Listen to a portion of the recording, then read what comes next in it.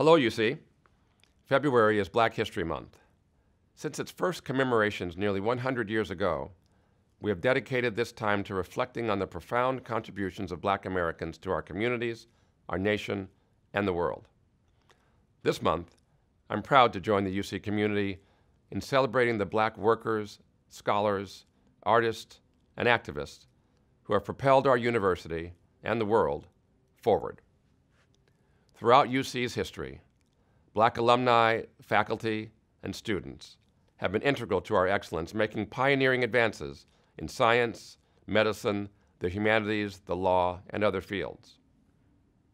Ralph J. Bunche became the first black American valedictorian at UCLA in 1927. He was also the first black American and the first person of color to receive the Nobel Peace Prize. In 1929, Annie Virginia Stevens Coker graduated from Berkeley Law and became California's first black female lawyer. Roy Overstreet, the first African American to receive a degree from UC Riverside, was a groundbreaking oceanographer, spending three decades tracking oil spills and waste in our oceans. At UC Berkeley, Barbara Christian led the way for countless others as a leading scholar of black feminist criticism and the first black woman to be granted tenure at Cal. And in the midst of the civil rights movement, UC students organized and marched to fight racial discrimination in housing and employment and to demand equal rights for all. Coming of age in Northern California in that era, I watched this struggle for progress unfold in real time, and I heard it in the songs of artists like James Brown and Marvin Gaye. Uh, James Brown sang, Say it loud, I'm black and I'm proud. Aretha Franklin and Otis Redding demanded respect, and Sam Cooke proclaimed, a change is going to come. Today, we stand on the shoulders of these pioneers and countless others who protested, organized, and sat in, who broke new ground in their fields of study, and who fought to make the world a better place. I think of the labor of these predecessors as our nation reaches new milestones.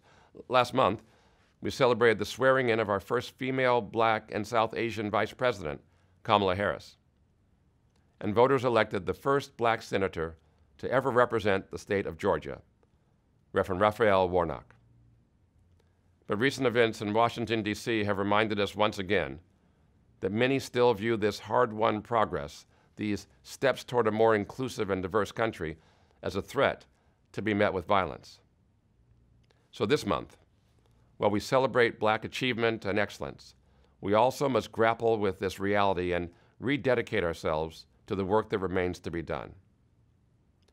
I encourage all members of the UC community to participate in Black History Month events and celebrations this month on our campuses and elsewhere, and to take this time to learn from the struggles and achievements of those who came before us.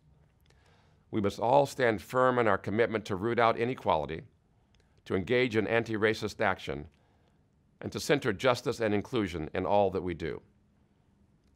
To borrow the words of Ralph Bunche, we must continue the hard and necessary work of, quote, converting the American ideal of equality into reality, end quote.